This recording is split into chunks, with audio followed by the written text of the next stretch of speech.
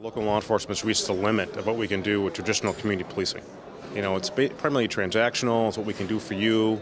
And what, what researchers have told us is that the link between, you know, crime rates and what we can do, um, and crime and f- fear and safety, you know, fear and, and whatnot, is not linked very well together. And so what we do know is that the future of policing really is in building that social fabric building the relationships that we know matter and that create a thriving community. What we're focusing on is, is this notion that understanding race, understanding ethnicity is, is experiential. You have to experience it. And so what we can do is, is government, as police, is create the environment where people can experience one another differently. And by doing that, you reduce fear, you reduce isolation, and you create a sense of the whole. And that is no matter what race or, or ethnicity you come, you know, you are. And that's, that's an important way to approach it. If we see ourselves as conveners and facilitators, instead of only practitioners and exercising formal, you know, the formal social controls, I think we have a bigger benefit. And it changes the way in which we're perceived by communities, especially communities of color.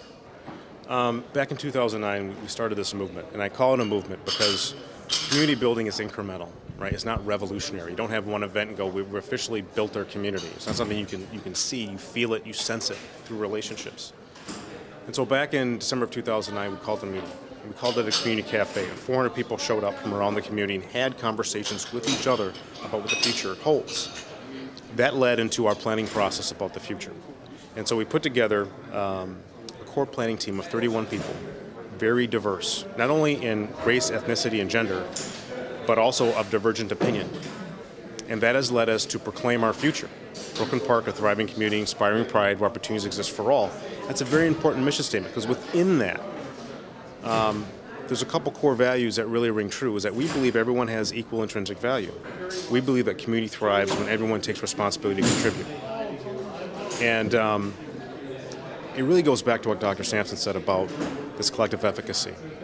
You know, truly, when you look at the essence of successful communities, it's where people know and trust one another, and police aren't in the equation because there simply isn't any. Now, obviously, when, when people call for services that only we can provide, we should be there, professional, engaging.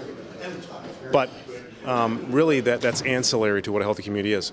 And by the way, I believe that this new approach will increase legitimacy within within these communities. And when you have higher levels of legitimacy, we become more effective as, as agencies.